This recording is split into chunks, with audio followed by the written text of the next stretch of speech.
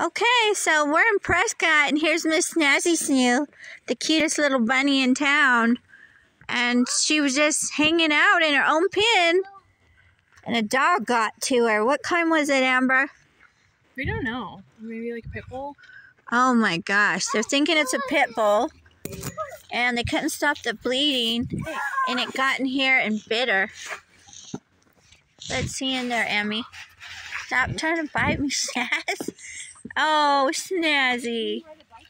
So, anyhow, it's looks like she might come out of it, but it just goes to show you what can happen in a dog bite. A, a dog attack is more like it, right, Emmy? Yeah. And Snazzy's one of our ranch horses. She comes and works on the ranch with us. It's just sad. So keep your dogs locked up. Flying box over out.